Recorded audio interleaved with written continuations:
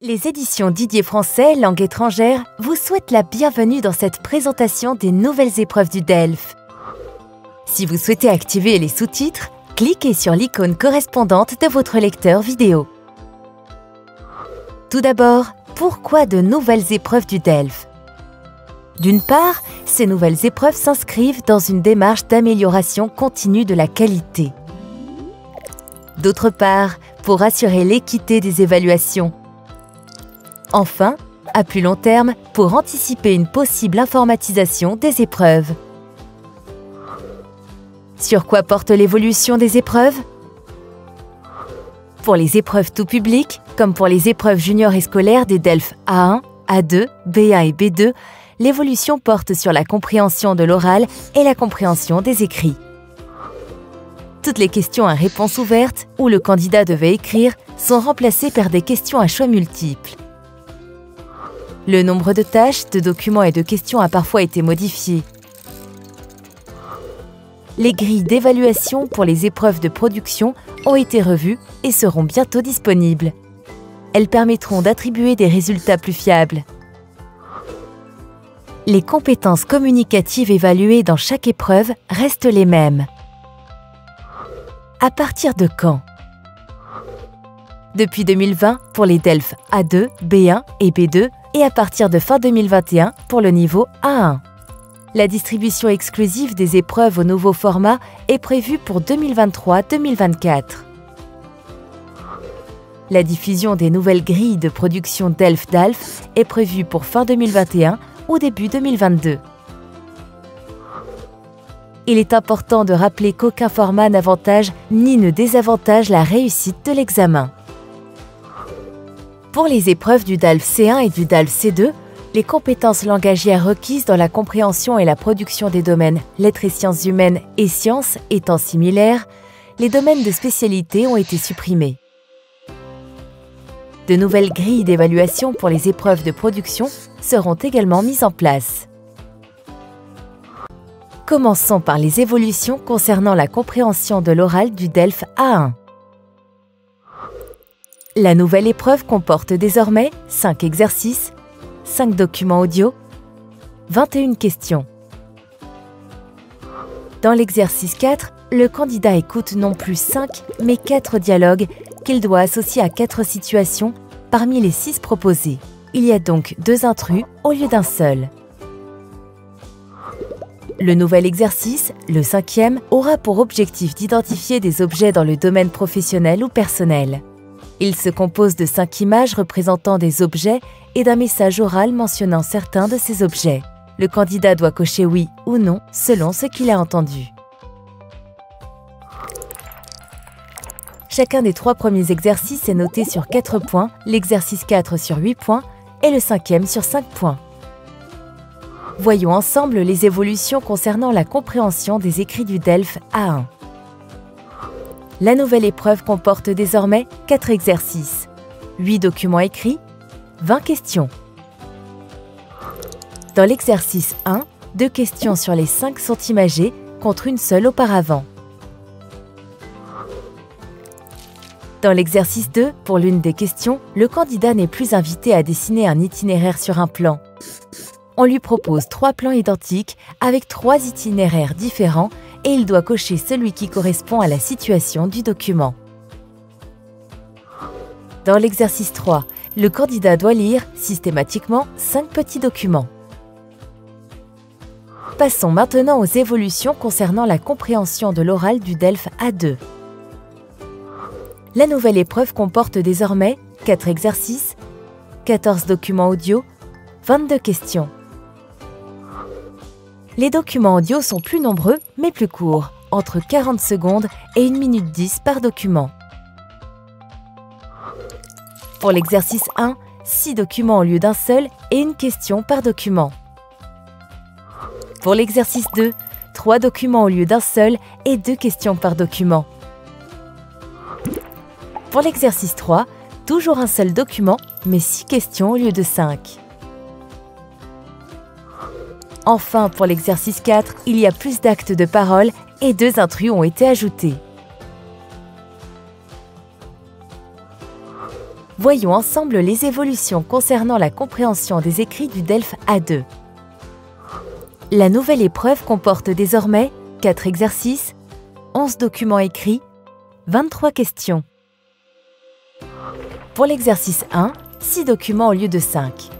Le candidat doit relier chaque document à une situation, mais il y a 8 situations pour seulement 6 documents avec l'introduction de deux intrus.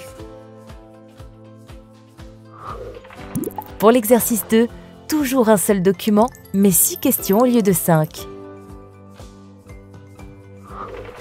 Pour l'exercice 3, 3 documents au lieu d'un seul. Une seule situation pour les 3 documents, mais chaque document est de nature différente. Il peut s'agir d'un règlement, d'un mode d'emploi, d'une recette ou d'instruction. Pour l'exercice 4, il n'est plus demandé de justifier la réponse pour la question vrai-faux. Désormais, vous savez tout sur l'évolution des épreuves pour les niveaux A1 et A2. Passons maintenant aux évolutions concernant la compréhension de l'oral du DELF B1. La nouvelle épreuve comporte le même nombre d'exercices, de documents audio et de questions que les épreuves actuelles, mais avec quelques différences. Le document de l'exercice 1 est légèrement plus long, 1 minute à 1 minute 40, et celui de l'exercice 3 est plus court, 2 minutes. L'exercice 1 est noté sur 7 points au lieu de 6 points. L'exercice 2 a une question de plus, 7 au lieu de 6, et il est noté sur 9 points au lieu de 8 points. L'exercice 3 a une question de moins, 7 au lieu de 8, et il est noté également sur 9 points au lieu de 11 points. Enfin, la durée de lecture et de réponse aux questions pour les trois exercices a été modifiée. Une minute pour lire les questions avant la première écoute, puis 10 secondes pour répondre aux questions. Après la seconde écoute, encore 30 secondes pour compléter les réponses. Voyons ensemble les évolutions concernant la compréhension des écrits du DELF P1. La nouvelle épreuve comporte désormais 3 exercices, 6 documents écrits, 30 questions.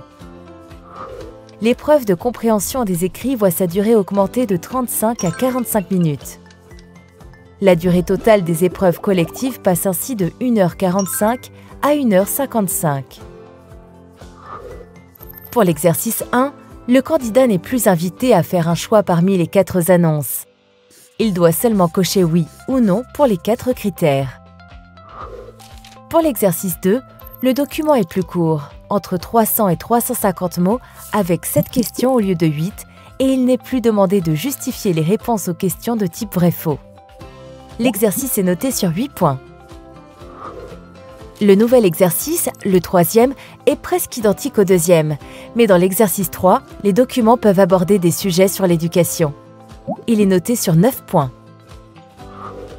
Passons maintenant aux évolutions concernant la compréhension de l'oral du DELF P2. La nouvelle épreuve comporte désormais 3 exercices, 5 documents audio, 20 questions. L'exercice 1 propose un document du domaine public ou personnel de 2 minutes 30 à 3 minutes au lieu de 5 minutes. 7 questions au lieu de 13 et il est noté sur 9 points au lieu de 18 points avec deux écoutes. Le nouvel exercice, le deuxième, est identique au premier, mais avec un document du domaine éducationnel ou du domaine professionnel. Dans l'exercice 3, trois courts documents sont proposés au lieu d'un seul, de 60 à 80 secondes chacun et deux questions pour chaque document. Il n'y a qu'une seule écoute. Enfin, les durées de lecture et de réponse aux questions ont été modifiées pour les trois exercices. Pour les exercices 1 et 2, le candidat a une minute pour lire les questions avant la première écoute, puis 30 secondes pour répondre aux questions après cette première écoute. Après la deuxième écoute, encore une minute pour compléter les réponses. Pour l'exercice 3, le candidat a 15 secondes pour lire les questions avant la seule et unique écoute, puis 20 secondes pour répondre aux questions. Voyons ensemble les évolutions concernant la compréhension des écrits du DELF P2. La nouvelle épreuve comporte désormais 3 exercices, 5 documents écrits, 20 questions. Pour les exercices 1 et 2, les documents sont plus courts, environ 425-450 mots au lieu de 500-700 mots, avec seulement 7 questions et les questions vrai, faux, avec justification, ont été supprimées.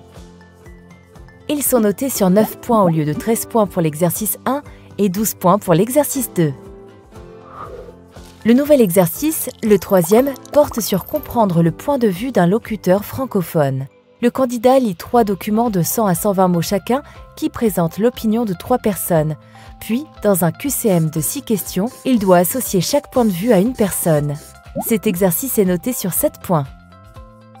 Désormais, vous savez tout sur l'évolution des épreuves pour les niveaux B1 et B2. Et pour préparer vos apprenants ou vous préparer aux nouvelles épreuves, nous vous proposons la collection 100% réussite deuxième édition. On vous montre Ce livre peut être utilisé en autonomie ou en classe avec l'enseignant. Il est réparti en quatre compétences comme l'examen. Nous vous proposons une démarche en quatre étapes. Comprendre, une double page présente l'épreuve par compétences, les savoir-faire, les exercices et les documents, la consigne générale, mais également des exemples de questions-réponses. Se préparer, avec des activités pour acquérir les savoir-faire indispensables pour réussir. S'entraîner, avec des exercices similaires à ceux de l'examen, avec des conseils méthodologiques. Le premier exercice de la partie s'entraîner est toujours corrigé et accompagné de conseils prêt pour l'examen permet de mémoriser l'essentiel, vocabulaire, grammaire, conseils, et enfin quatre épreuves blanches pour bien se préparer, deux à la fin du livre et deux interactives et autocorrectives sur le site Compagnon. Retrouvez dans la description de la vidéo le PDF à télécharger pour voir des exemples pour chaque niveau. À bientôt